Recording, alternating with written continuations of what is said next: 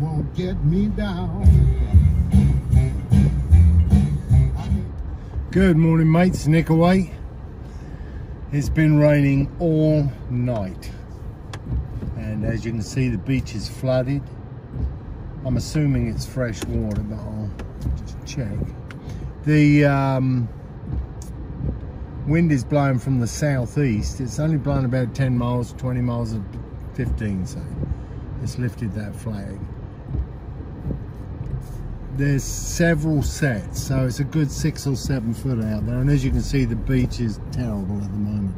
Driving conditions going to put that down at about a three. Water clarity's down. Going to put it at five. Um, I'm to swing around. You can see the clouds still over there. They were the rain clouds that sort of loaded down on us during the night. But I do see a little bit of blue sky off to my left.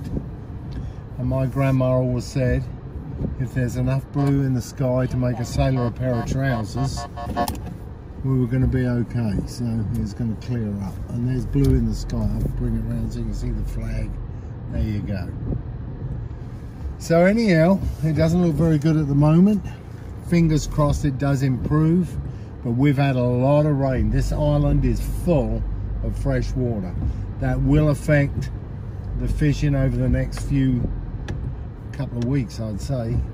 Once that starts heating up again, that water will be dragged out the island and it makes it real dirty and close.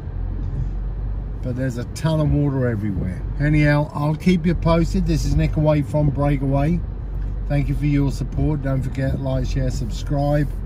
And if you're feeling really generous, join our Patreon site. I'll put a link at the end of it. Thank you at the end of this video. Thank you. Have a great day. Well, due to these freaky conditions, Breakaway's got to remain closed at the minute. I couldn't even get into work. I was watching this. I tried, but the water's up to that truck's doors, and I didn't want to try the same trick. Anyhow, thanks for your support, mates. This is Nick away from Breakaway. Hope it dries up quick.